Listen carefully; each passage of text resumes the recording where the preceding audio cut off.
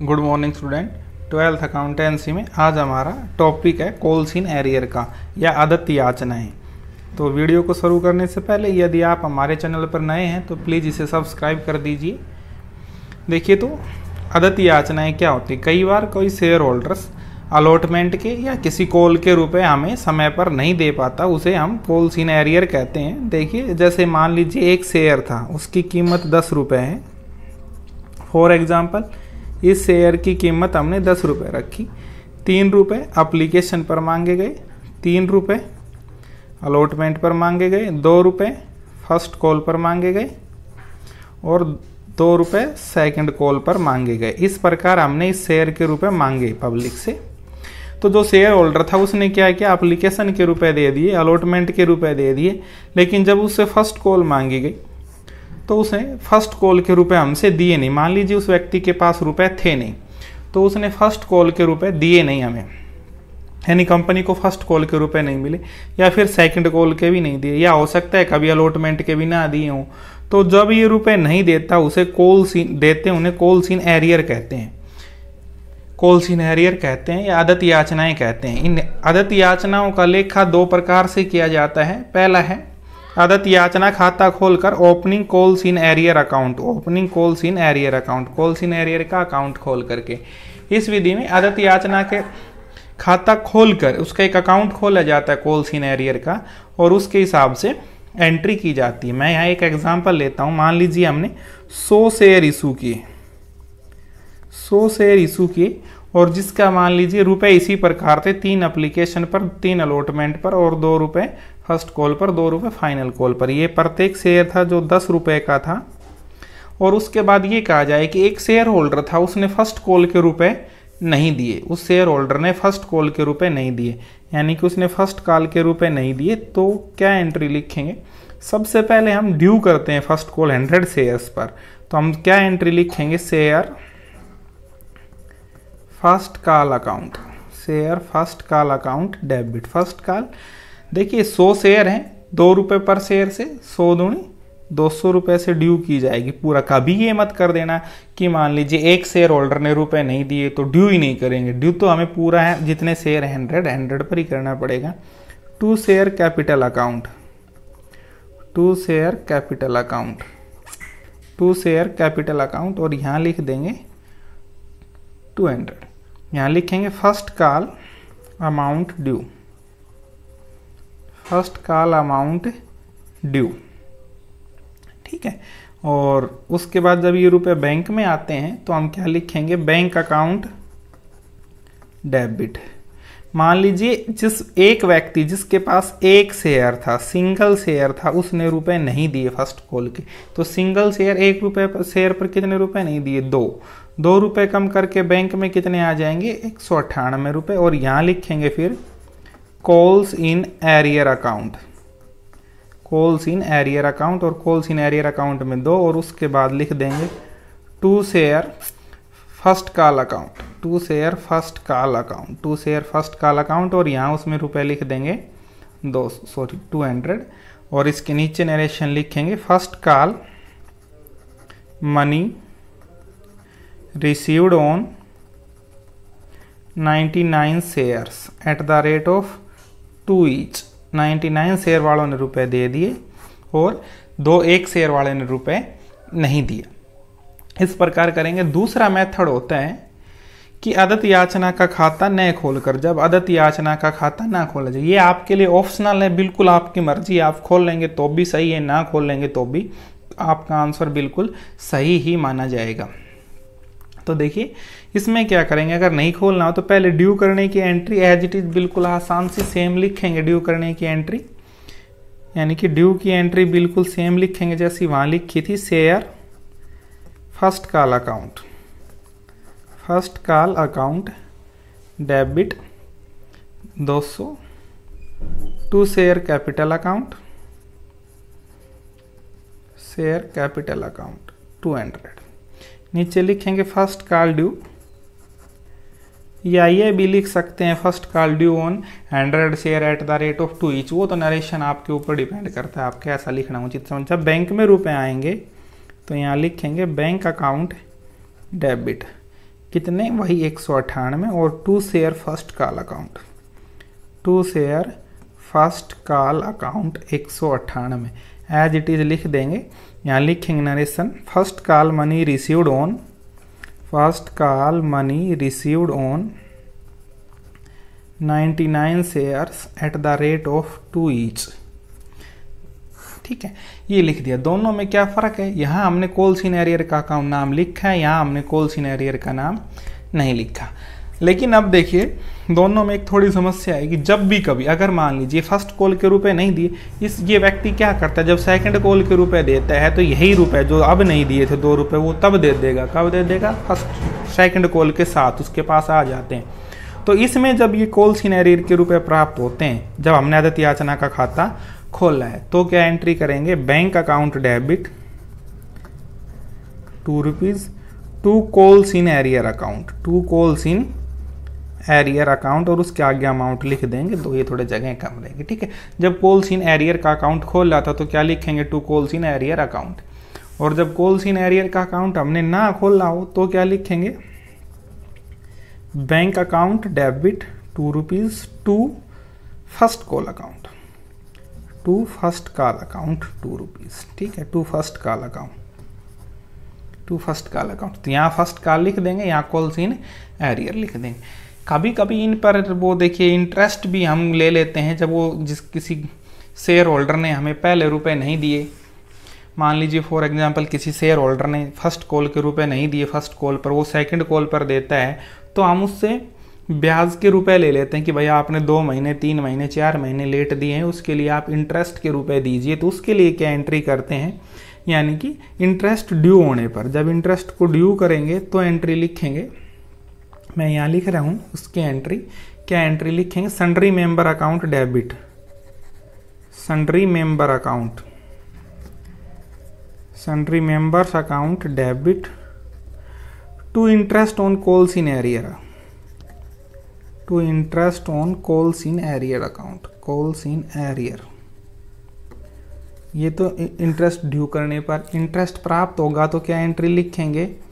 Bank account debit to in to sundry member account sundry member account member मतलब share holder का नाम। Sentry member हमें रुपए दे देगा और हमें रुपए मिल जाएँगे। सेंट्री मेंबर का अकाउंट डेबिट किया था हमने कि भाई तू हमें दे इंटरेस्ट तो इंटरेस्ट देगा तो क्या हो जाएगा? क्रेडिट और उसके बाद जब महीने के अंत में या सा, सॉरी साल के अंत में जब ये जो हमें जो रुपए मिलेंगे net profit and loss account में ट्रांसफ़र कर देंगे। उसके लिए लिखेंगे interest on interest on calls in arrear account calls in arrear account debit to settlement of profit statement of profit and loss account statement of profit and loss account ये जो entry हैं interest की मैंने बताई है, ये सिर्फ़ knowledge के लिए बता दी। प्लस टू की क्लास में तो अगर मान के चलें तो इनकी ज़रूरत पड़ती नहीं है। वो कोल्स इन एडवांस का इंटरेस्ट का एक न्यूमेरिकल मिल सकता है प्लस टू के सिलेबस है, नहीं तो इनका कैलकुलेशन की एंट्री होती नहीं। अब देखिए ऐसा एक न्यूमेरिकल लेते हैं इनका, उसको कैसे सोल्व करते हैं हम? देखिए न्यूमेरिकल यानी कि प्रैक्टिस के लिए लिए हैं, यानी कि चौदह number question X limited issue बीस हज़ार seven percent preference share of hundred each at a premium of six percent payment were be made as follows और वो प्रीमियम पर इशू किए हैं रुपए पच्चीस ऑन अप्लीकेशन छियालीस on allotment and ten on first call and twenty five on final call यानी कि हमने इस प्रकार इस प्रीफरेंस शेयर को इशू किया बीस हज़ार शेयर थे सोक का था छः परसेंट सोक का सिक्स परसेंट छः यानी कि सोक के सिक्स परसेंट प्रीमियम पर इशू किया। सोक का सिक्स परसेंट निकालेंगे तो छः रुपये प्रीमियम पर इशू किया गया अगर कुछ ना कहा गया हो तो प्रीमियम का इंक्लूड माना जाता है। अलॉटमेंट पर नहीं तो डायरेक्शन दी जाती है। पच्चीस अप्लीकेशन पर आए छः अलॉटमेंट पर दस रुपये फ़र्स्ट कॉल पर और पच्चीस रुपये फाइनल कॉल पर। द एप्लीकेशन फॉर अट्ठारह सौ हज़ार शेयर रिसीव्ड। अट्ठारह हज़ार शेयर के लिए एप्लीकेशन मिली।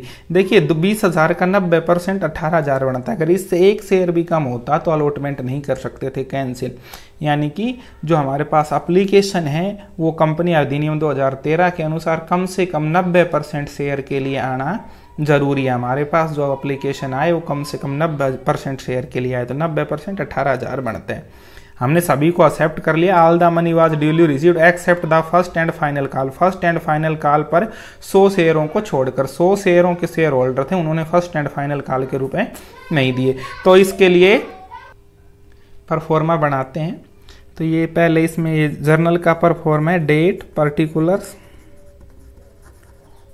पर्टिकुलर्स यहाँ लिखेंगे अमाउंट डेबिट की और यहाँ लिखेंगे अमाउंट क्रेडिट की। अमाउंट क्रेडिट की, ठीक है भाई यहाँ रुपए का निशान भी बना लें आप, और यहाँ एक वैसे तो एक लेजर फोलियो का कॉलम और बना लें तो बिल्कुल प्रॉपर जर्नल बन जाएगा, ये मतलब पूरा जर्नल बन जाएगा, ये जर्नल अकाउंट था, ठीक है भाई?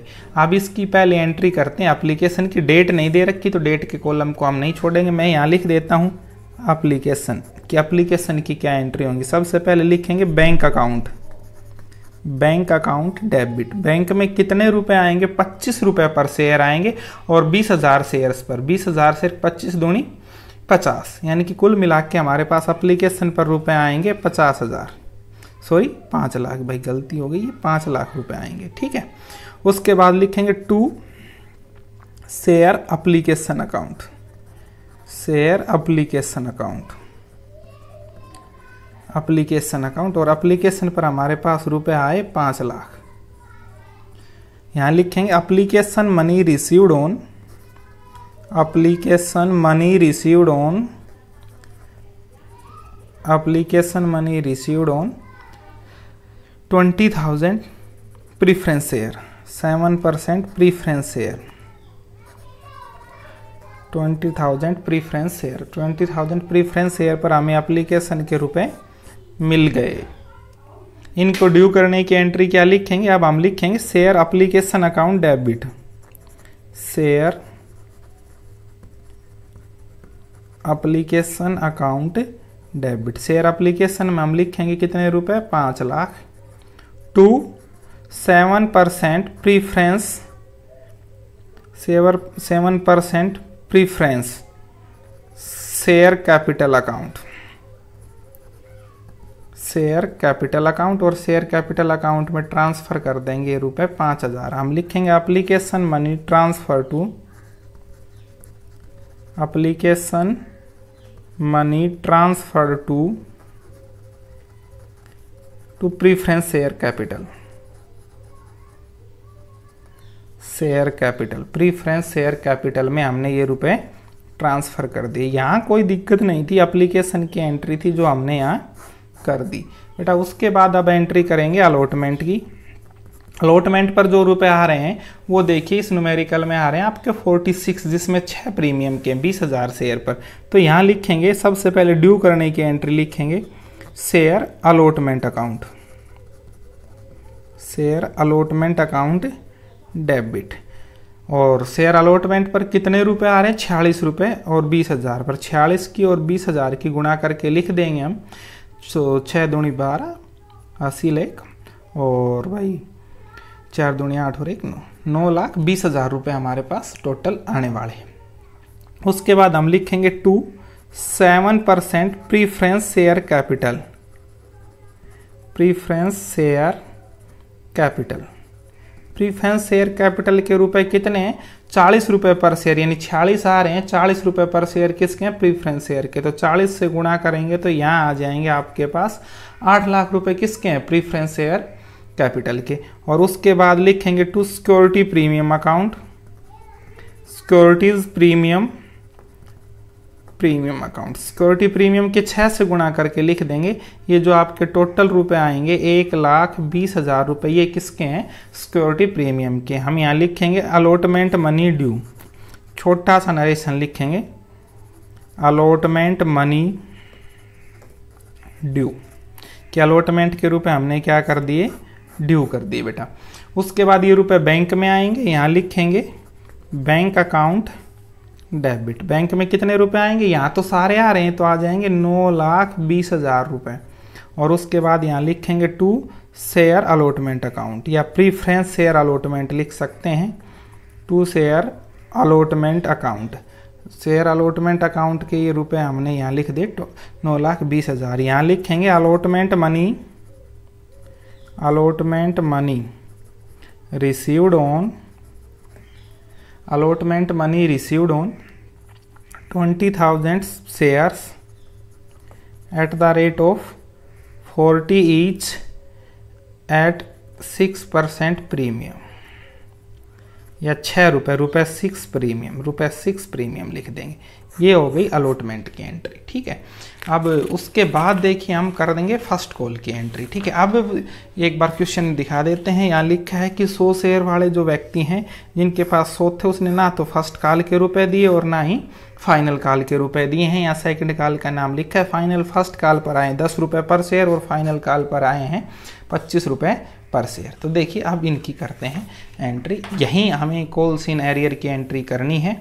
तो देखिए यहाँ से शुरू करते हैं। यहाँ लिखते हैं, सबसे पहले फ़र्स्ट कॉल की एंट्री फ़र्स्ट कॉल की। ठीक है तो यहाँ लिखेंगे share first call account share first call account share first call account debit first call due पूरे शेयर पर करेंगे। कभी भी ये गलती ना कर दें कि सौ रुपये नहीं दे रहे तो सर उन्नीस हज़ार नौ सौ शेयर पर ड्यू कर देंगे। नहीं ड्यू कितना होगा? ट्वेंटी थाउज़ेंड शेयर पर दस रुपये पर शेयर तो ट्वेंटी थाउज़ेंड की और अगर दस की गुणा करते हैं तो बेटा ये आएगा आपके पास दो लाख। टू से, to seven percent preference share capital preference share capital capital account preference share capital कितने होंगे?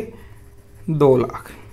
प्रीफ्रेंस शेयर कैपिटल लिख दिए, दो लाख। हम लिखेंगे first call first call due on twenty thousand shares at the rate of ten each प्रत्येक पे हमने कितने रुपए मांगे? दस रुपए। अब है कोलसिन एरियर सौ शेयर्स पर कोल्स नहीं दिया। आप चाहें तो कोलसिन एरियर का अकाउंट खोल लें, चाहें तो ना खोलें इस बार हम खोल के करवाते हैं। अगले क्वेश्चन में बगैर खोले बता देंगे। तो देखिए, वो पहले बता भी दिया उसमें थ्योरेटिकल पोर्शन में। तो सबसे पहले लिखेंगे बैंक अकाउंट डेबिट। आप बैंक अकाउंट डेबिट लिख के इसको खाली छोड़ दें एक मिनट के लिए, फिर लिखें calls in arrear account calls in arrear calls in arrear account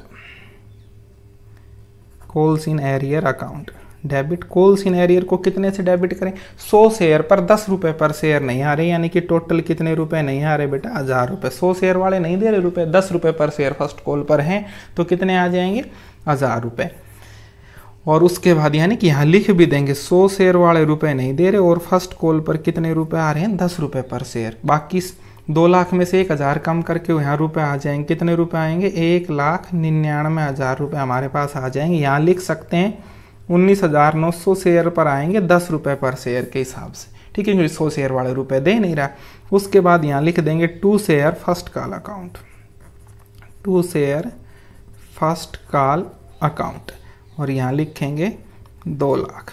यहाँ नीचे नरेशन लिखेंगे first call money received on उन्नीस हज़ार नौ सौ शेयर उन्नीस हज़ार नौ सौ share at the rate of ten each इससे स्पष्ट हो गया कि उन्नीस हज़ार नौ सौ शेयर वाले ने रुपए दिए हैं, दस शेयर वालों ने नहीं दिए, दस रुपए पर शेयर हमने मांगे थे फ़र्स्ट कॉल पर। अब अगर उस क्वेश्चन में चलते हैं तो फाइनल कॉल पर कितने रुपए मांगे हैं? पच्चीस। फाइनल कॉल पर कितने रुपए मांगे गए? पच्चीस। पच्चीस रुपये आने वाले हैं फाइनल कॉल पर। तो फाइनल कॉल पर जो रुपए आने वाले हैं, पच्चीस, उसके लिए यहाँ लिखते हैं हम सेकेंड कॉल या फाइनल कॉल सबसे पहले ड्यू करेंगे, वही बीस हज़ार शेयर्स पर हम यहाँ लिखेंगे share final call account share final call account debit final call पच्चीस रुपये पर शेयर और भाई ये टोटल शेयर थे, यहाँ भी लिख सकते हैं हम, बीस हज़ार शेयर्स पर गुणा में पच्चीस ताकि पता चल जाए। यहाँ आएगा टोटल अमाउंट पाँच लाख। इनकी गुणा करेंगे आप तब to seven percent preference share capital account seven percent preference share capital capital account और यहाँ लिख देंगे ये पाँच लाख रुपए। यहाँ लिखेंगे, final call due on twenty thousand share at the rate of twenty five each. पच्चीस रुपये से हमने पर शेयर पर कॉल ड्यू कर दिया। अब ये रुपए बैंक में आएँगे तो उसी प्रकार लिखेंगे हम बैंक अकाउंट डेबिट। यहाँ लिख सकते हैं, यहाँ भी सौ शेयर वाले रुपए नहीं दे रहे तो उन्नीस हज़ार नौ सौ गुणा पच्चीस। और वो अमाउंट यहाँ लिख देंगे। दूसरा तरीका पहले की तरह बताया था, अभी अमाउंट यहाँ मत लिखो और यहाँ लिखेंगे calls in arrear account calls in arrear calls in arrear account debit calls in arrear कितने? सौ शेयर पर और पच्चीस रुपये पर शेयर। यानी कि कितने रुपए नहीं आएँगे? ढाई हज़ार रुपये नहीं आएँगे, ढाई हज़ार को पाँच लाख से घटा देंगे तो ये कितना आ जाएगा? चार लाख सत्तानवे हज़ार पाँच सौ रुपये हमारे पास नहीं आएँगे। मतलब पाँच लाख में से ढाई हज़ार घटा दिए तो इनकी गुणा भी कितनी आएगी? चार लाख सत्तानवे हज़ार पाँच सौ रुपये और उसके बाद यहाँ लिख देंगे to share final call account. To share final call account. और फाइनल कॉल के रुपए कितने हो जाएँगे? यहाँ लिख देंगे हम पाँच लाख। यहाँ नरेशन लिखेंगे नीचे। Final call money received on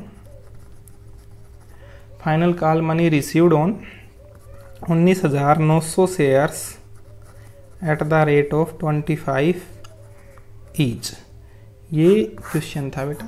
अगर आपको थोड़ा भी ये पसंद आए, इससे आपको थोड़ा भी बेनिफिट हो तो प्लीज़ इस वीडियो को लाइक कर देना और शेयर कर देना चैनल को सब्सक्राइब कर लेना. Thank you